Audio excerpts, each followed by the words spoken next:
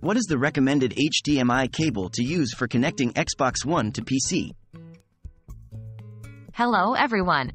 In this video, we're going to talk about the recommended HDMI cable for connecting your Xbox One to a PC.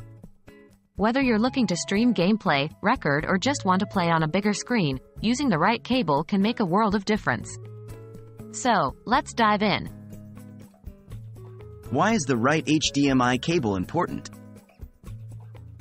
Choosing the right HDMI cable is crucial because the quality of your gameplay experience can heavily rely on it. A cable of poor quality might not provide a high-speed transmission, leading to lagging or subpar image quality. Always aim for high-speed HDMI cables.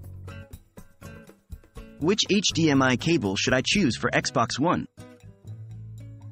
When it comes to Xbox One, an HDMI 2.0 cable would be sufficient for most gamers. This is because Xbox One supports 4K gaming at 60 Hz, and HDMI 2.0 is able to handle these specifications. However, you might also consider HDMI 2.1, particularly if you plan to upgrade to Xbox Series 10 or Series S in the future. HDMI 2.1 supports up to 8K resolution at 60 Hz or 4K at 120 Hz, which is more than enough for any current game system. Remember to always verify that your PC monitor or TV is compatible with these HDMI versions to avoid compatibility issues. Does brand matter? While many think that expensive or branded HDMI cables perform better, it's actually more about the cable specifications than the brand itself. As long as the cable meets the HDMI 2.0 or 2.1 standards and is of good build quality, it should serve your needs perfectly. Do not overspend on fancy brands that promise incredible performance. Oftentimes, these are marketing gimmicks.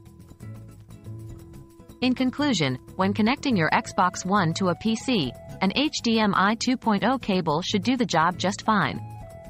Consider an HDMI 2.1 cable if you're planning a future upgrade to newer Xbox consoles. Remember, it's not the brand, but the specifications that count. We hope this video has helped you make an informed decision.